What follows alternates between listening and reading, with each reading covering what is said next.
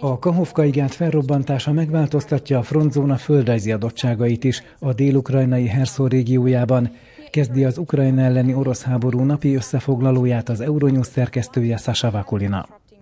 Az Amerikai Háborús Tanulmányok Intézete a június 7-én rögzített infravörös képeket vizsgálta. Az árvíz az orosz erők már előkészített támadóállásaiban is kártett mutatnak rá az elemzők. Több helyen észlelték, hogy az orosz alakulatok eszközeikkel együtt visszavonulni kényszerültek. Látványos példa erre a Hersontól délnyugatra fekvő Holaprisztáni és a délkeletre található Oleski partszakasz a Dnyipró folyó keleti partján. A Hersoni területi kormányzó csütörtökön bejelentette, hogy mintegy 600 négyzetkilométernyi területet öntött el a víz.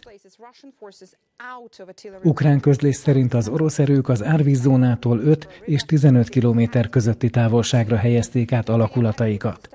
Mozgásokkal módosul a tüzérségi zónájuk is. Az áradás 80 települést sújt, 29-et nagymértékben vagy teljesen elöntött a víz. Ezek közül 10 az orosz erők által megszállt területen található. Az amerikai háborús tanulmányok intézete szerint a polgári lakosság nehézségeit súlyosbítja, hogy az orosz megszállók szervezetlenül reagálnak az árvízre.